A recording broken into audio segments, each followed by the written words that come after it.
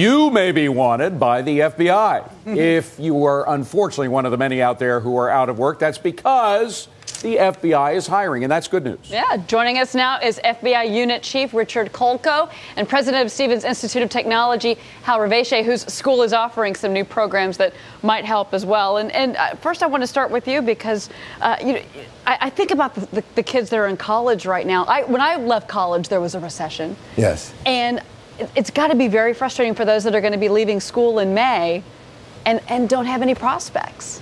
But we entered into this field because of the national importance of the field. So we started the first undergraduate degree in cybersecurity. We have many graduate programs in information insecurity, and we have research programs in this. So we got into it for, for different reasons, and now we're fortunate because our students are very quali- well qualified. Well, Richard, uh, let's let's be specific about the FBI. Why is the FBI hiring? Is it because of cases like Madoff? Is it because of terrorism? Is it because of the pirates? What is it? Uh, I'm sorry, we can't be quite that specific, but we, at least we're the ones that do have good news today. We actually are hiring. Mm-hmm. We're looking for more than 2,100 professional support employees and 850 agents this year. What it has to do be with spe- is mostly. Be specific if you can, though, Richard. If you can't talk why, and I, we can certainly understand it, national security is at stake. Uh, but what kind of people, what kind of experience are you looking for?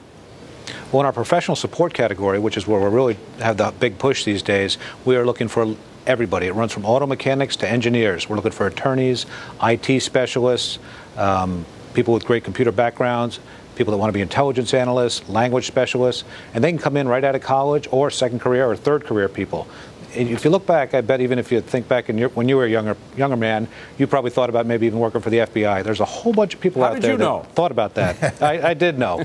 I, I, talked to a lot of people, and everybody goes, "Gee, I wish I'd done that." you, you, you, looked up my FBI file. Go ahead. Let's, go. let's talk so, money, everybody. No, uh, Richard, I want to know what it pays. What does it pay? What can I make? Some of our entry level jobs are, are in the 30s, but some of the salaries go all the way up to $100,000 a year.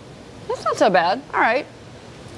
Well, I, I think the, the, real attraction for a young woman or man is the ability to serve their country and to put their knowledge to specific use in a priority area now to fight terrorism or to fight crime, whether it's uh, gangland crime, white collar crime, you know, what's going on on Wall Street. So they can have a great deal of satisfaction doing this.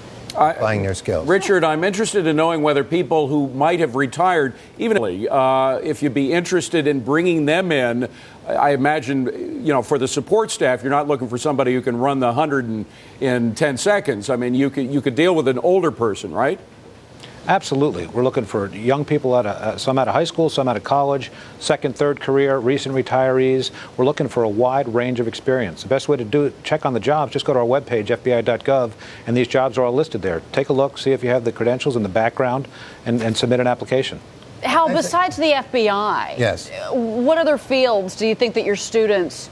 Well, the whole field of cybersecurity. If we are to realize the business potential of the internet, cybersecurity is the number one issue, hmm. right? And we can't discuss where the threats are coming from, but every day they're huge. So if we want to see the internet applied to medicine, to the financial sector, to creating very sophisticated social networks, we have to make it secure, and it's not.